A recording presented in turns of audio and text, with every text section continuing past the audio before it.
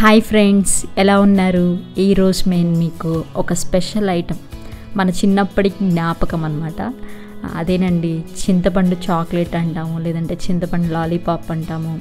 దాన్ని ఎలా తయారు చేసుకోవాలో ఈరోజు నేను మీకు చూపించబోతున్నాను. ముందుగా హాఫ్ కప్ చింతపండును శుభ్రంగా కడిగి ఒక హాఫ్ అన్ అవర్ నానబెట్టుకోండి. చింతపండు మొత్తం నానిన తర్వాత దాంట్లో ఉన్న గింజలు దాంట్లో ఉన్న పీసు అంతా తీసేసి దాన్ని మిక్సీ పట్టుకుని పక్కన పెట్టుకోండి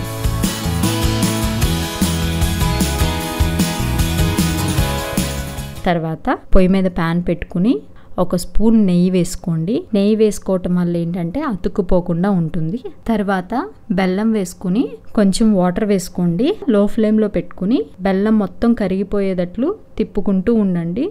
ఇక్కడ చింతపండు మనం హాఫ్ కప్ తీసుకున్నాము. చింతపండు క్వాంటిటీ కంటే ఎక్స్ట్రా బెల్లాన్ని తీసుకోండి. ఎందుకంటే అప్పుడు మనకి తీయ తీయగా పుల్ల పుల్లగా బాగుంటుంది కరెక్ట్గా.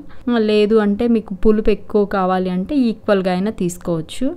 అంటే హండ్రెడ్ గ్రామ్స్ చింతపండు తీసుకుంటే వన్ ఫిఫ్టీ గ్రామ్స్ బెల్లం తీసుకోండి. బెల్లం మొత్తం కరిగిన తర్వాత మనం పేస్ట్ చేసి పెట్టుకున్న చింతపండు మొత్తాన్ని దాంట్లో వేసుకుని చింతపండు బెల్లం రెండు కలిసేలాగా బాగా కలుపుకుంటూ ఉండండి. లో ఫ్లేమ్లో పెట్టుకుని కలుపుకుంటూ ఉండండి.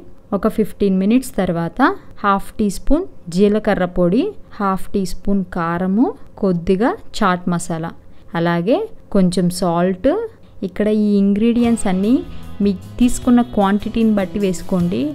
లేదంటే కనుక ఏది ఎక్కువైనా కానీ టేస్ట్ మారిపోతుంది. కాబట్టి మీరు చూసి వేసుకోండి. తర్వాత వీటన్నిటిని బాగా కలుపుకోండి. ఇది మొత్తం మిశ్రమం మొత్తం బాగా దగ్గరికి అయిపోతుంది ఉన్నప్పుడు స్టవ్ ఆఫ్ చేసేసి ఒక నెయ్యి రాసిన ప్లేట్లోకి దాన్ని తీసుకుని ఒక ఫైవ్ మినిట్స్ చల్లారిన తర్వాత ఐస్ పుల్లలు ఉంటాయి కదండి ఐస్ క్రీమ్ పుల్లలు వాటికి నేను చూపిస్తున్న విధంగా ఈ విధంగా ఫోల్డ్ చేసి పెట్టుకోండి. ఫోల్డ్ చేసి ఒక కవర్లో దాన్ని చుట్టేసి పెట్టుకోండి. ఒకవేళ అలా కాకపోయినా దాన్ని చేత్తో తీసుకుని కొద్ది కొద్దిగా ఇలా రౌండ్స్ లాగా చేసుకుని స్క్వేర్ షీట్లో ఉన్న ఒక పేపర్లో పెట్టి చాక్లెట్ లాగా ఫోల్డ్ చేసుకోండి. చింతపండు చాక్లెట్స్ రెడీ.